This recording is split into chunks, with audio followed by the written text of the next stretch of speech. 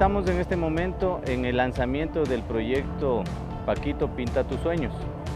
Este proyecto busca dar una orientación a nuestros niños para que aprendan a decir no al consumo de sustancias estupefacientes.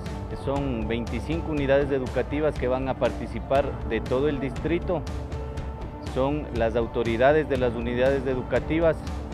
Tenemos también la presencia de las autoridades policiales del distrito. Este proyecto tiene previsto también realizar un concurso de dibujo en donde les vamos a pedir a los niños que plasmen sus sueños en los dibujos. Habrá cinco ganadores a quienes se les cumplirá el sueño por un día y también se pintará eh, los dibujos ganadores en los murales de las unidades educativas ganadoras y también se hará una recuperación de los espacios eh, de recreación de las unidades educativas de donde han salido los niños ganadores del concurso. Ministerio del Interior.